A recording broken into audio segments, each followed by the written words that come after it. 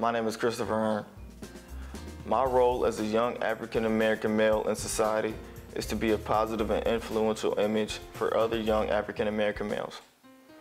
When I say positive, I mean that I will always carry myself in a presentable and well-mannered fashion to keep a positive image. This will also help me become influential because I realize the strong impact that I can have amongst my peers. Therefore, if I can keep a positive image, I can influence everyone around me to do the same.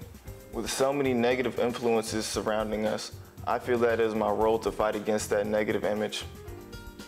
This is because I feel like every time that I see a young black man on the local news, it's almost always for a bad reason, whether it's for violence, use of drugs, theft, or etc.